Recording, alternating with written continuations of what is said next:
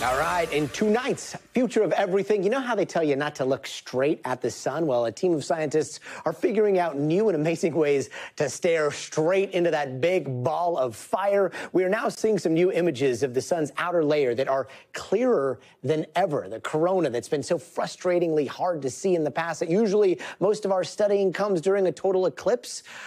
Well, now, using a telescope here in California, the researchers have a system to produce uh, images while getting rid of the blur caused by the Earth's atmosphere.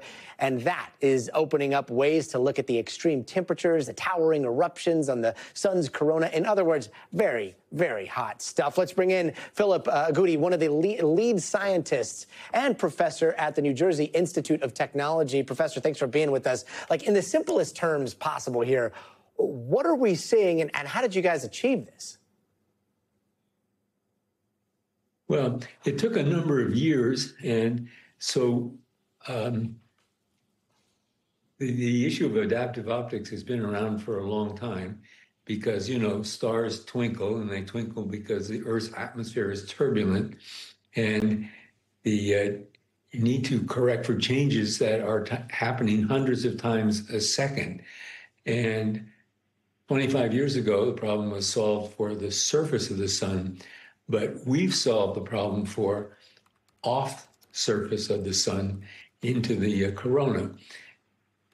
The problem that you need is some point of reference, and you have this ethereal corona, which just nothing wants to stay still, and there's not much light there. But finally, after years of this and that back and forth. We were able to solve the problem.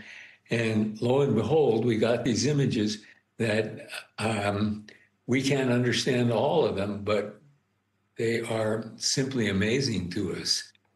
And They're beautiful. Really and with this, this. Yeah, it's incredible to look at. And I don't want to take this into a dark place with such a bright uh, subject here. But coronal mass ejections, they are something that kind of keeps me up at night. Uh, God forbid we like have a Carrington event where you have a big, uh, huge eruption uh, on the surface of the sun and it knocks out like our grid here on Earth. Is is this helping you guys understand or possibly prepare uh, us for that kind of event?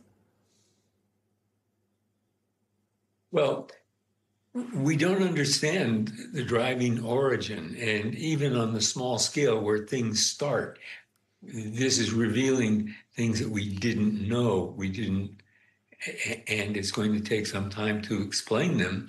But yes, you worry about Carrington events like in 1859 when telegraphs ran on their own in, in the UK and in the US, or in 1989 when um, the Northeast was blocked out because of a, a, similar kind of event in, in Quebec. So it's something to worry about. And if you're Elon Musk and you want to go to Mars, you have to worry about one of these things occurring while you're on the path. Or how do you make a base to live on the moon? How do you make places to live on Mars? You need to worry about space weather. We're mostly protected by our atmosphere, but not mm-hmm. fully